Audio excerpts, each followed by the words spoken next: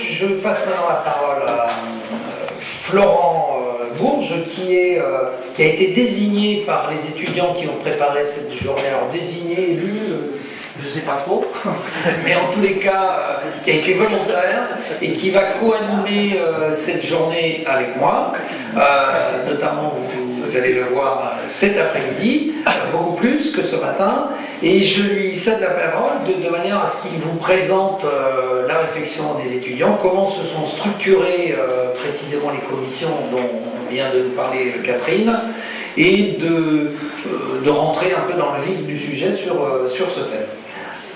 Florent, vous avez. Bonjour à tous. Comme vous le savez, l'action publique territoriale, au sein de l'action publique territoriale, l'équipement a toujours été un enjeu essentiel. L'équipement, c'est bien sûr une notion plurielle.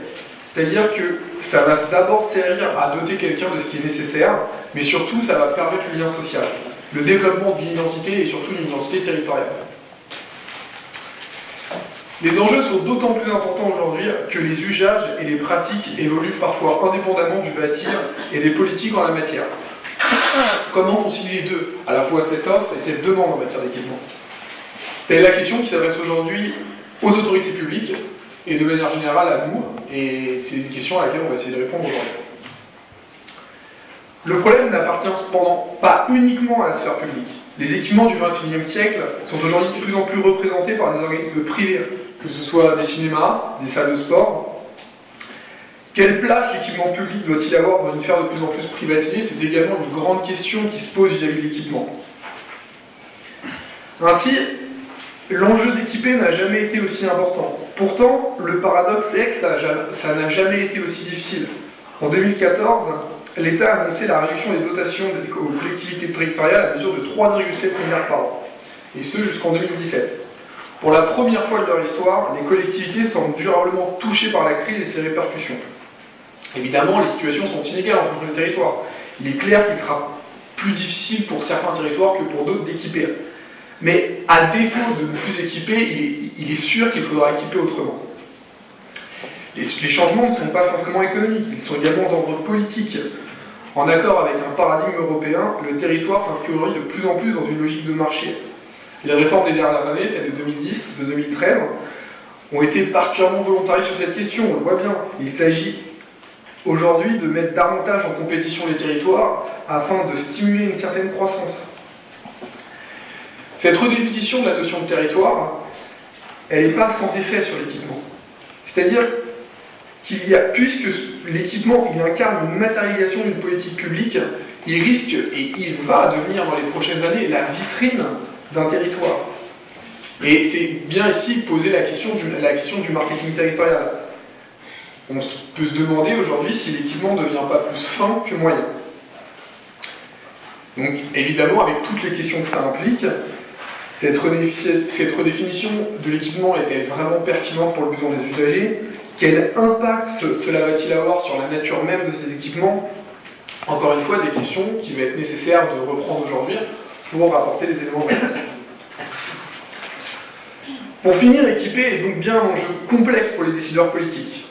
Pourtant, loin de pousser au découragement, ces difficultés peuvent devenir le terreau d'innovation sans précédent. Nous tenterons à travers cette journée organisée par les masters attachés à l'IAUR d'éclaircir ces enjeux, qui sont multiples. Ils sont de l'ordre économique, politique, social. Nous essayerons surtout de comprendre quelle forme est susceptible de prendre l'équipement demain. Et à défaut de pouvoir répondre à ça, de savoir quels outils les décideurs peuvent adopter pour réaliser celui-ci, quelles méthodes peuvent être préconisées.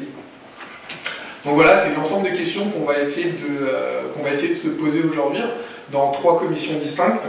Donc il faut savoir que euh, cette journée elle a été organisée, donc, euh, comme vous le disiez Catherine Guy, par les quatre, quatre masters attachés à l'IAUR.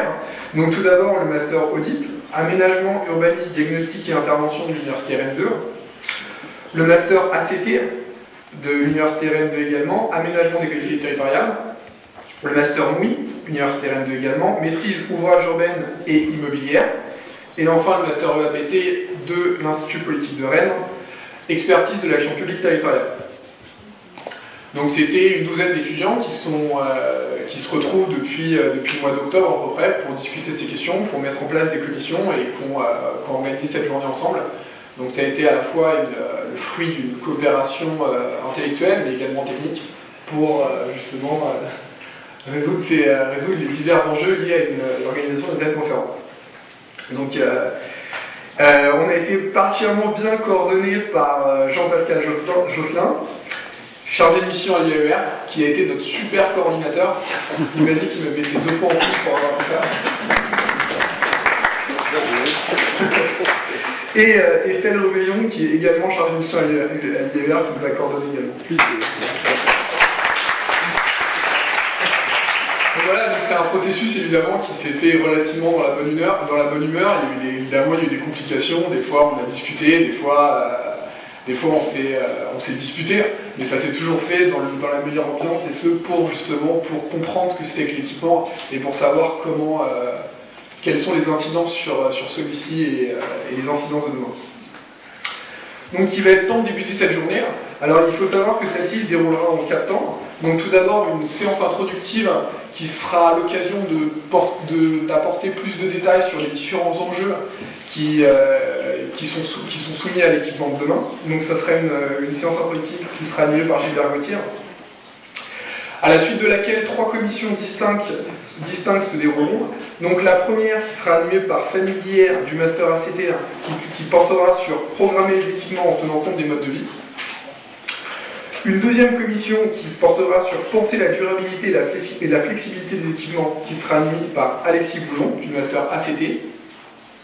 Et enfin, une troisième commission, gestion, animation et projet d'équipement, animée par Étienne Guyot du Master EAPT.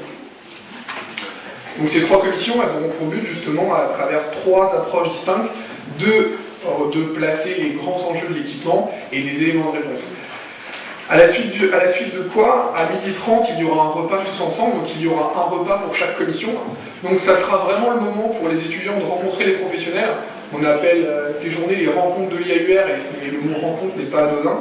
L'objectif est vraiment de se rencontrer entre étudiants et entre professionnels, de nouer des liens, de nouer des contacts. Éventuellement, il y en a peut-être parmi vous qui cherchent des stages, c'est peut-être l'occasion d'avoir certains contacts.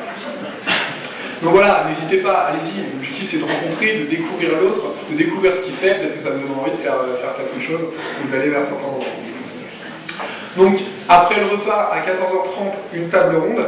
Donc à ce moment-là, on reviendra justement sur les trois commissions du matin, avec les, euh, après une brève synthèse réalisée par des étudiants. Nous verrons justement les grands enjeux, les grandes questions qui ont été abordées durant les commissions. Nous en, euh, les remettre en débat avec, euh, avec 14 intervenants. Et donc d'approfondir notre thème et finalement de comprendre l'équipement de demain, de comprendre sa nature et, et les outils utiles pour y accéder.